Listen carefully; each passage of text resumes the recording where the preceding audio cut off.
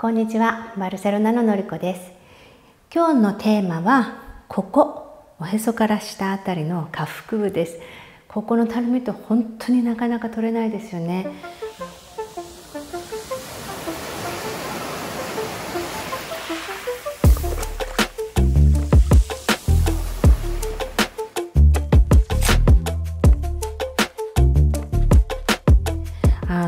腹筋を頑張ってるんですけど上の方はうっすらこう見えてきたのに下が全然取れませんっていう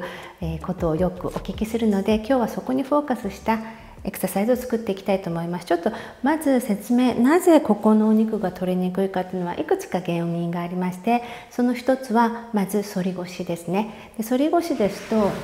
こうこう腰がこう中に入っているのでこの前が出やすい。そしてここに内臓脂肪がたまりやすいです。でそうすることにそうなることによってこう骨盤が外に開きやすく緩みやすくなるので、えー、こうですね内臓がねこう下垂といって内臓下垂といって下の方にどんどん落ちてきてしまうんですよね。でここら辺にこう溜まってしまってでさらにあの、まあ、脂肪がつきやすくなりますので体幹が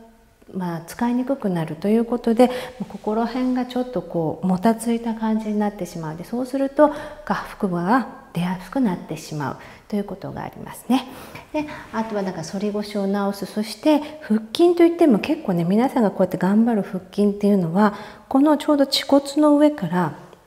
ここにまっすぐ上にくっついてくる腹直筋というのが一番表層部になるんですけどその下にあるのが外腹斜筋といってこう斜めに上から肋骨の辺りからこう上に上から下に向かってありますそして内腹斜筋っていうのはこのちょうどこの下腹部のところからこうに斜め上に上がってくるのでこれを2つが一緒に左右することによって例えば体をひねったりとかこういう動きをすることになるんですね。で、まあ、一番下にこの腹横筋といってこうさらしのような筋肉があるんですけどこの腹横筋というのは、まあ、おへそを引っ込める筋肉になります。じゃあ例えばあのこうやってよく見えるここら辺はついてきたんですけどここが全然という時は腹筋をしてる時におそらくこっちの方ばっかり使っちゃってこっちがあまりアクティベートされていない状態だと思うんですね。ですので今日はちょっとまずこの骨盤まず反り腰を直すというところから腰を動かして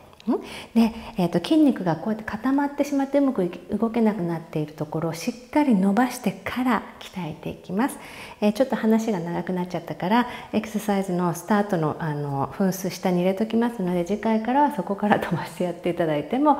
構いません。ではスタートしましょう、えーと、まずはじゃあ腹筋伸ばしていきますよ。えーとでも四つん這いになってですねでこの後ろの足を横にして、えー、皆さんのこの画面に近い側の足を横にします。ね、ではまず伸びましょう。ここを伸ばしたいのでまずはこのサイドから肋骨から骨盤を引き離すっていう感じでこう伸びをしてみてください。伸びますね。でそこから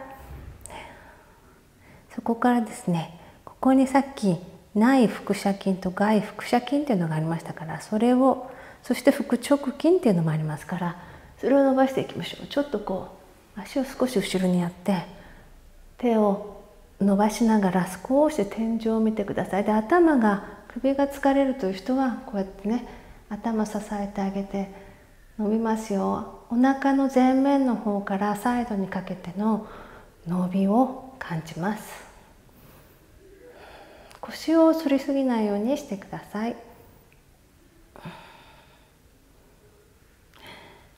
はい、気持ちいいですね。じゃあ今度反対向きでやりましょう。じゃあ今度私反対向きますね。えっ、ー、と後ろの足を横もう一個の足を出して、まずは横に伸びます。サイド。寸胴になりがちっていうのはここと肋骨と骨盤の間のスペースが縮こまってしまうのでそこを広げてその間にある筋肉を使ってってあげますよ。でまあちょっと足を後ろにしてこうにきますから。少し天井を向いて伸びます。頭を支えても OK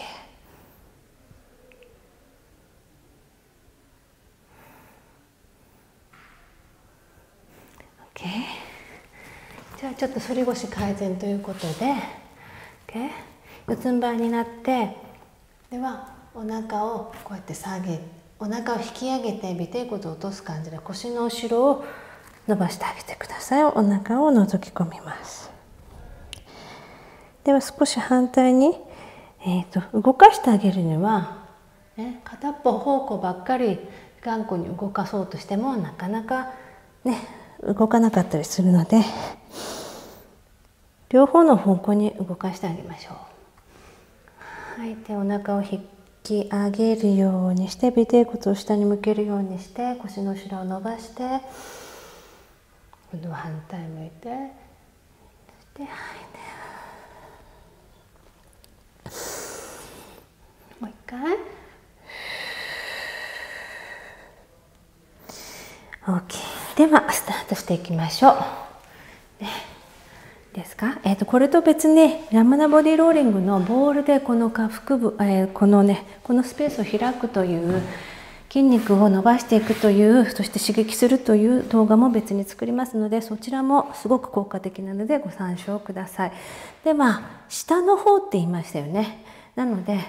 今日は足をこう下の方はこう足をこう上げる動きをするんですよ、ね、そっちに集中していきます。肘を置いてサポート。でどうしてもきつかったらこの下にクッションを置くとかやってあげてください。ただ腰を浮かしてはいけないので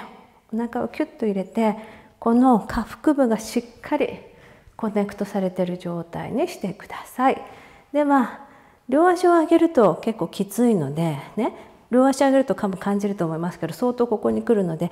できるようになってきたらこう両足を上げて両足同じ動きをすればいいんですけどまずは片足ずつやっていきましょう。反対に1個の足を曲げていることで骨盤が浮いてしまうのを避けます。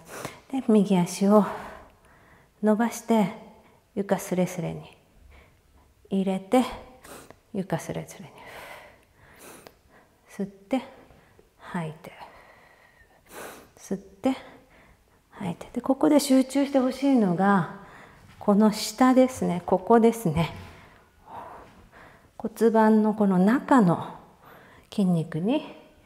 集中させてほしいなの。おなへそをキュッと引っ込めて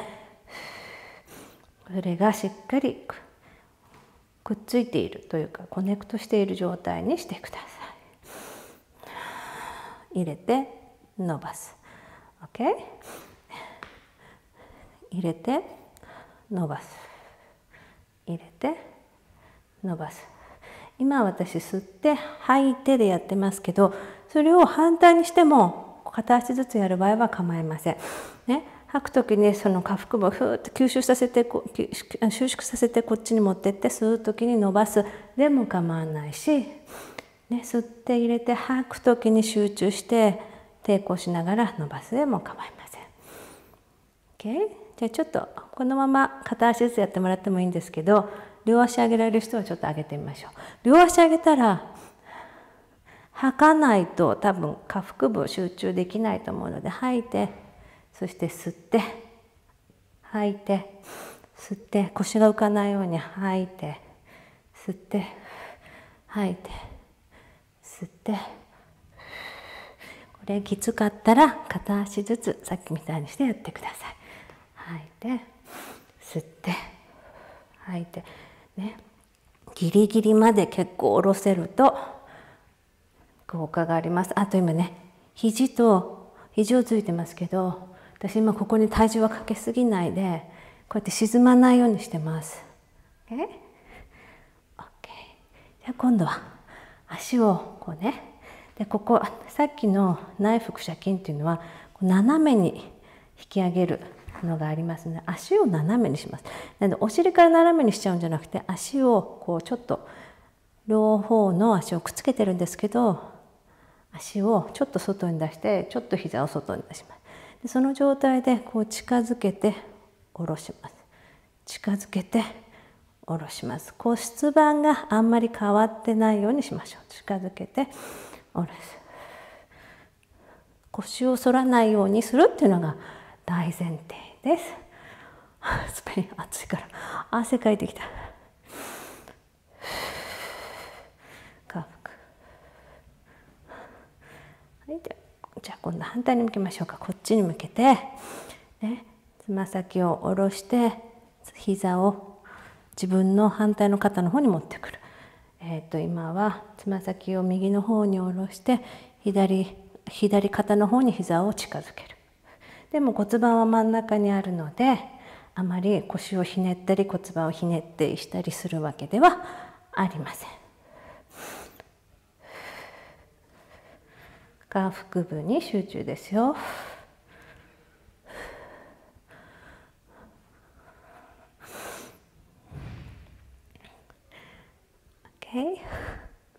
お腹必ず引っ込めて下ろしてねここのふっとお腹が出てきたらダメですよ。あと1回ふはいで上がってきます。ちょっと伸びてください。OK じゃあ今度は OK プランクの状態になります。でえっ、ー、とこっちでやってもいいしねロングプランクの状態でもいいしロープランクだともっときついです。ですので、えーと、ここでじゃあ私は今日ロープランクでやってみます。集中したいのがまず肩に沈まないということ。首を長くそしてお尻がこうやって浮いちゃってこう腰が下がってしまっていない状態。例えばこれはこれじゃ腹筋にアクセスできません。ですのでお尻を上げすぎてもダメ。ちょうどいいところに止めてちょっとキュッとお尻を軽く入れられるぐらいのところにしておいてください。ここで肘が肩の真下にあること。OK? じゃあ足と足を合わせてですね、でこうやってつま先で、これ靴履いてるとやりやすいかもしれないんだけど、トレーニングシューズみたいなの。こうやってね、下半身を揺らすの。なんでつま先立ちになって足を合わせたままお尻を例えばスローでやるとこっちに下ろしてこっちに下ろして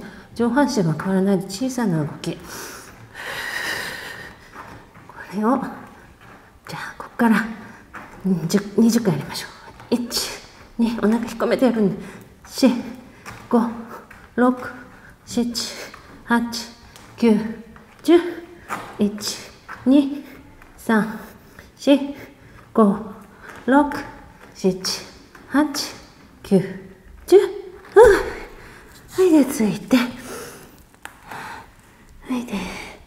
ふう。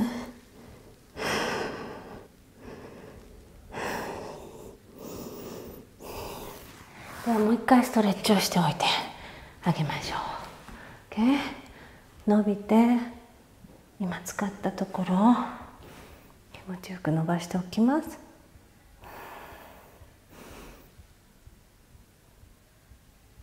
少し上向いて。今度は反対をやりましょう。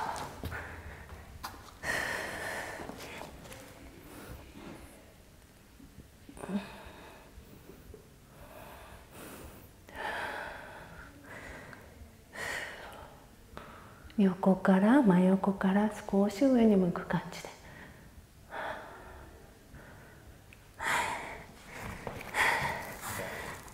で吐いて丸くなって。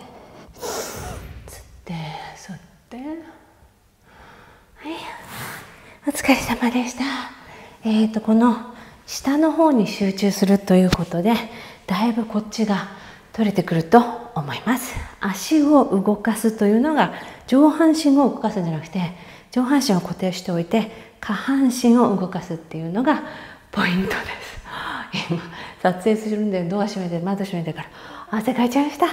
もしよかったなと思ったら高評価と登録よろしくお願いしますそれではまたお会いしましょう。